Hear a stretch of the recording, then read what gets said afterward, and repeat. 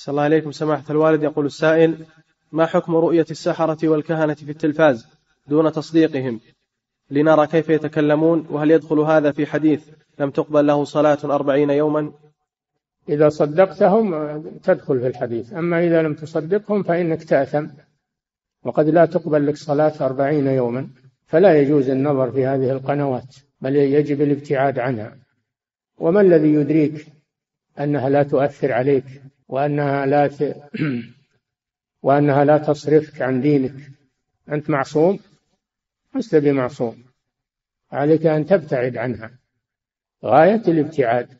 وأن تبعدها عن بيتك وعن أسرتك. نعم.